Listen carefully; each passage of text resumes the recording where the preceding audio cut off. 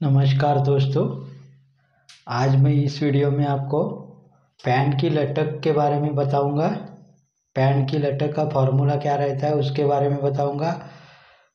Video को पूरा देखिए। आखिर में दूसरा दूसरा तरीका भी बताऊँगा। अगर वीडियो आपको पसंद आए तो लाइक कीजिए, चैनल को सब्सक्राइब करना ना भूलिए। पैंट की लटक लेने का आसान तरीका बता रहा हूँ, लटक का मेज़रमेंट का।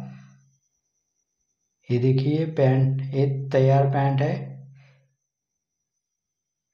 पैंट की लटक, ये देखिए, ऊपर से बेल्ट से लेके बीच का जो जॉइंट रहता है वहाँ तक।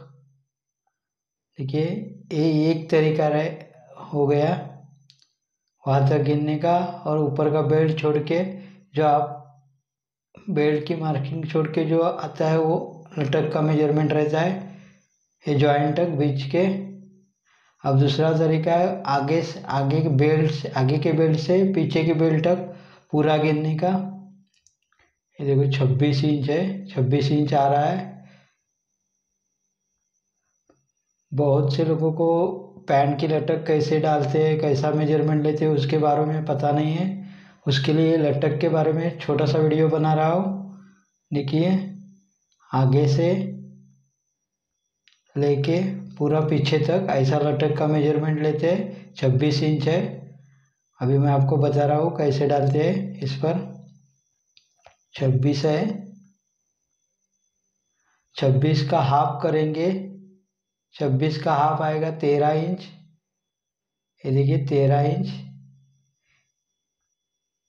तेरह में से आगे का डेढ़ इंच बेल्ट और पीछे का डेढ़ इंच बेल्ट ऐसा दस तीन इंच निकालेंगे तो दस इंच रहेगा तो दस इंच आपका लटक आएगा। ये देखिए, आगे का डेढ़ इंच, पीछे का डेढ़ इंच। ऐसा करके दस इंच लटक डालते हैं। अभी मैं आपको दिखा रहा हूँ, ये देखिए, तेरह इंच है। छब्बीस का हाफ़ करेंगे, पूरी लटक का हाफ़ करेंगे, ये तेरह है। उसमें से आगे का डेढ़ इंच और पीछे का डेढ़ इंच, ऐसा तीन इंच कट करेंगे तो दस इंच का लटक आएगा।